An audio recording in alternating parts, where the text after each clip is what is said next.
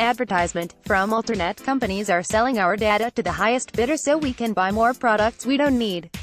George H.W. Bush and Bill Clinton sold us on the idea that we no longer needed a manufacturing economy in the U.S. because the internet was coming and it would provide entirely new business models. Now we've seen what that new economy looks like, spying for sale. Facebook takes all the information you give them, which they then use to create profiles to sell advertising to people who want your money or your vote. Your internet service provider, with former Verizon lawyer and now head of the FCC Ajit Pai having destroyed net neutrality, will soon begin, if they haven't already started, tracking every single mouse click, reading every email, and checking out every one of your online purchases to get information they can sell for a profit. Your smart TV is tracking every show you watch when and for how long and selling that information to marketers and networks. And even your credit card company is now selling your information. What have you bought that you'd rather not have the world know? To paraphrase Dwight Eisenhower's Cross of Iron speech, this is not a real economy at all, in any true sense. It's a parody of an economy, with a small number of winners and all the rest of us as losers, suckers, product.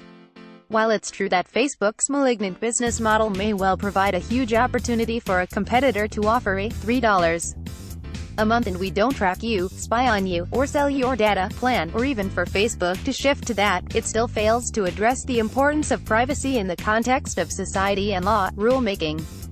We cannot trust corporations in America with our personal information, as long as that information can make them more and more money.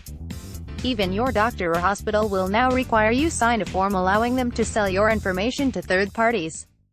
Advertisement It's been decades since we've had a conversation in America about privacy. What does the word mean? How should it be applied? Much like the NFL provides solid rules for how football games are to be played, government sets the rules for how business is played.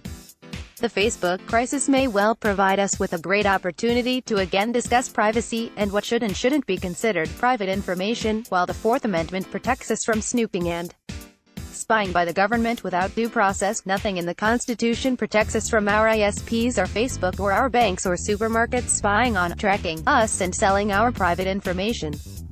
Next page 1, 2 advertisement, OpEdNews.com Thom Hartmann is a Project Censored award-winning New York Times best-selling author, and host of a nationally syndicated daily progressive talk program on the Air America radio network, live noon 3 p.m. ET www.thomhartmann.com His most recent books are, The Last Hours of Ancient Sunlight, Unequal Protection, The Rise of Corporate Dominance and the Theft of Human Rights, We the People.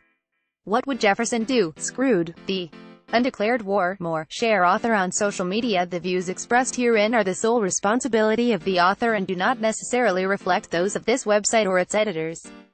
Related topics, Facebook, Facebook and American politics, Internet, privacy, spying, transparency, ad tags Want to post your own comment on this article, Congress Switchboard, 202-224-3121 Fox News turns against Donald Trump for the worst imaginable reason by Daily Kos with membership, you can see by Daniel Geary, with membership, you can see.